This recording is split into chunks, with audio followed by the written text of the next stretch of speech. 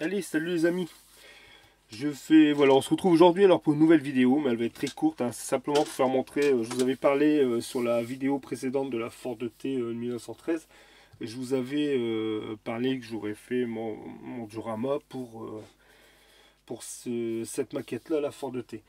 Euh, alors voilà, je voulais simplement faire une petite vidéo pour faire montrer sur comment je suis parti. Alors aujourd'hui, bon, mon petit soc qui est fait, là je laisse bien sécher. Alors euh, voilà, il me restait une plaque euh, en résine et de route en pavé. Cela j'ai décidé, je ne vais pas mettre de pelouse ni, ni rien. À cette époque-là, c'était plus des routes en pavé. Alors je suis venu, voilà, alors j'avais une grande plaque, je vais vous faire montrer ça tout de suite.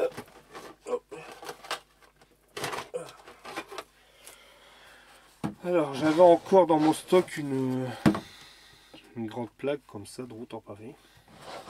bon je l'ai coupé en deux parce que c'était un peu grand. Ça je garde encore une partie pour moi faire un autre diorama. Alors tout simplement, hein, il n'y a rien de compliqué. J'ai coupé un morceau de, parquet, une lame à parquet. J'ai mis un morceau de plaque de polystyrène.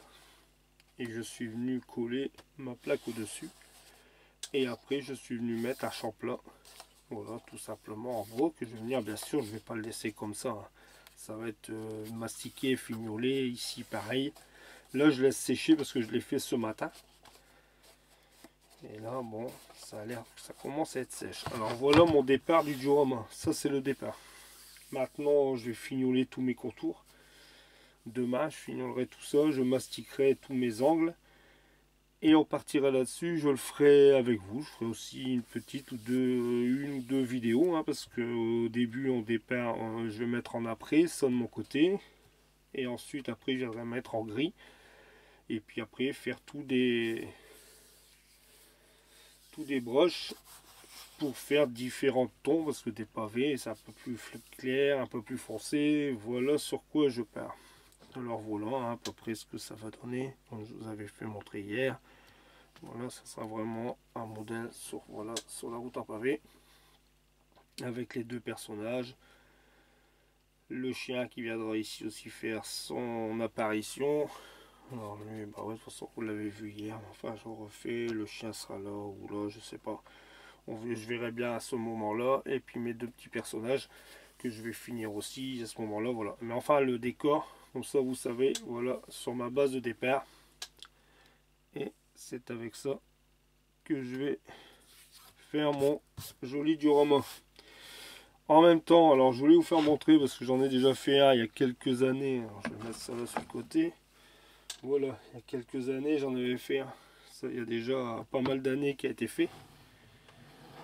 Alors voilà ici le petit diorama que j'avais fait. Alors attendez, j'espère que vous voyez bien là parce que sinon j'essaie de le relever un peu. Voilà on est mieux. Voilà, ça c'était aussi tout simplement un petit diorama aussi que j'avais euh, j'avais fait, hein, je vous dis il y a quelques années maintenant.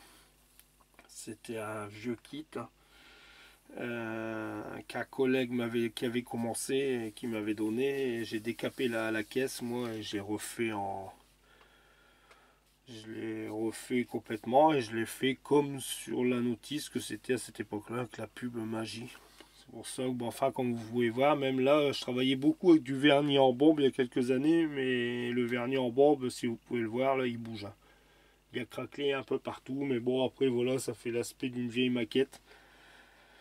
Et voilà le décor. Alors, tout simplement, alors j'étais venu bien sûr coller de la pelouse artificielle à des endroits. Mais ça, c'est des endroits prévus. Hein. C'était le moulage, parce que ça, c'est j'ai acheté ça euh, sur une expo. Enfin, quand j'ai acheté... Euh, sur une expo maquette, j'avais acheté euh, plusieurs plaques. J'avais acheté celle-ci qui était grande. Ensuite, j'avais acheté celle-là.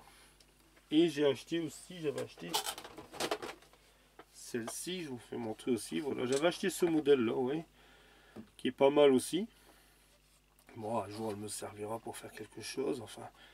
Et il y a même quand le prix dessus, c'était 5 euros. Là, j'avais payé ça 5 euros.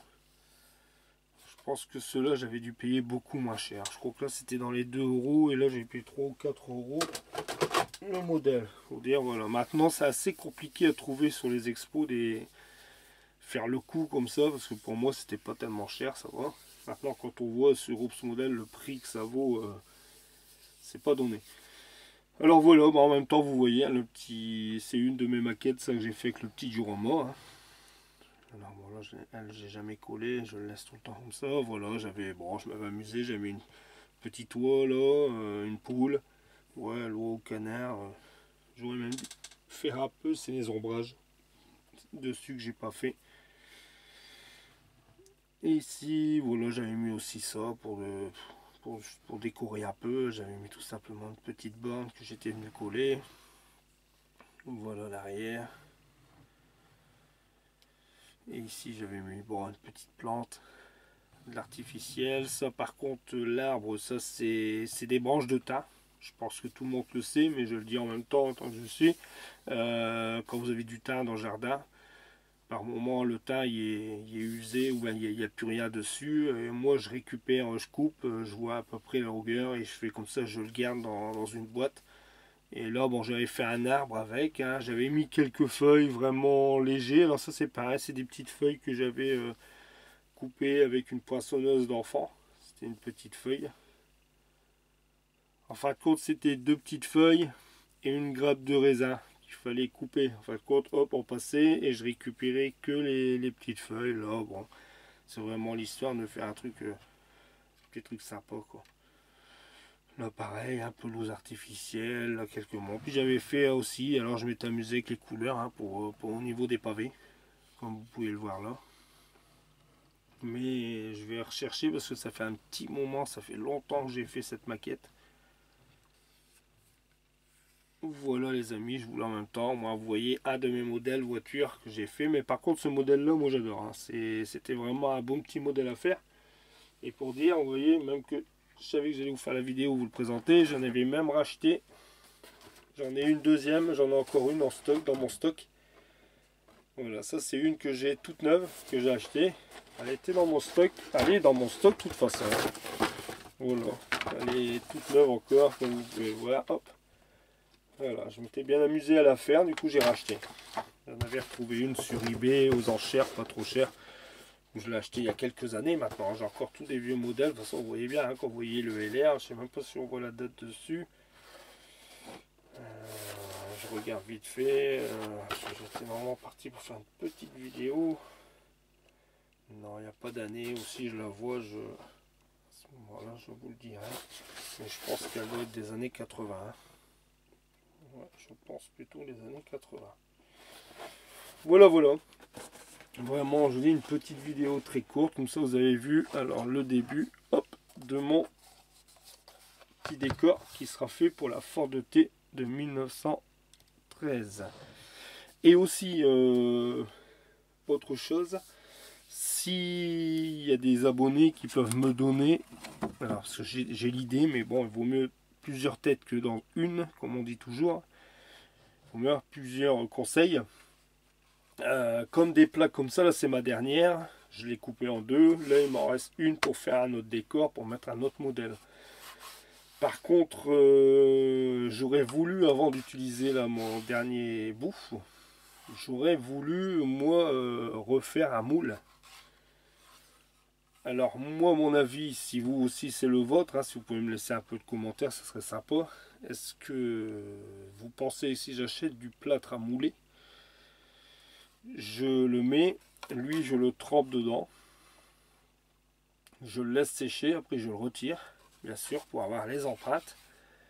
Et normalement, je pense que de la résine, euh, même si ça vaut cher au début, c'est pas grave parce qu'après, euh, je veux dire, après quand on a le moule, c'est super sympa, ça peut toujours servir, même pour d'autres qui ont besoin aussi. Après, on peut s'arranger euh, que je fasse refaire, recouler après une résine à l'intérieur. Vous voyez, en plus, on voit bien, hein, il, est, bien, c'est bien fait parce qu'il est creusé, il est pas, c'est pas plat. On voit bien, voilà, là même là, il en manque un, l'air de rien. C'est marrant parce qu'il y a que là, il, en, il manque un pavé, ça fait des trous. Vous voyez, il est un peu usé, un peu partout. même s'il y a des petits trous dans la résine, on s'en fout, au contraire, ça donne un aspect plus vieilli. Voilà, on le voit bien. Hein.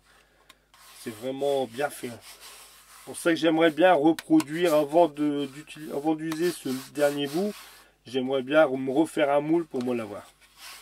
Comme ça, moi, de temps en temps, si j'ai besoin, il faut qu'à recouler un peu de résine et je me refais, moi, une plaque pour moi. Alors, est-ce que vous avez la même idée que moi? Je pense que le mieux, ça serait ça, c'est de, faire un moule en plâtre, le mettre dedans, le laisser sécher, le décoller le lendemain. Comme ça, on a toutes les empreintes et moi, après, je peux recouler une résine dessus.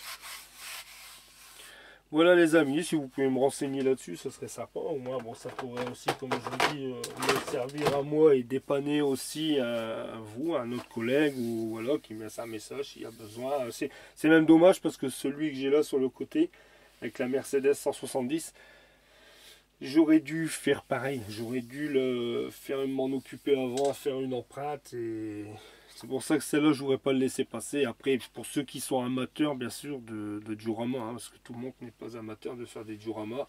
Après, je sais que c'est manque de place. Moi, c'est pareil, je suis dans le même cas aussi, mais j'essaye un peu dans les vitrines, mais j'aime bien faire un petit un petit décor. Euh, bon, il y a des voitures comme la Renault 5 que j'ai fait, l'Alpine, non, j'ai laissé comme ça. Il y a d'autres modèles que je laisse aussi. Hein. Mais j'aime bien. Là, là, je trouve que c'est sympa avec les personnages et tout. Ça vaut la peine de faire un petit décor. Voilà les amis, je vous dis, euh, voilà, c'était simplement pour la présentation du bout. Bien sûr, là, je vais finir un tour comme l'autre, hein, parce que l'autre, j'ai procédé de la même façon, hein, comme vous pouvez voir ici. c'est exactement le même, c'est carré polystyrène. Je suis venu coller ma plaque de résine avec le décor et après je suis venu travailler tous mes angles et poncer, j'ai mastiqué j'ai mis en peinture pour que ça fasse beaucoup plus propre. Là ça sera pareil.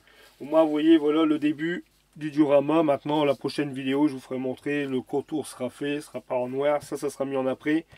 Ça sera pas en noir. Et je ferai je pense si vous voulez je ferai aussi le, le petit décor. On fera ça ensemble. Je vous ferai une ou deux vidéos pour faire montrer le diorama et bien sûr la finition de cette Ford T 1913.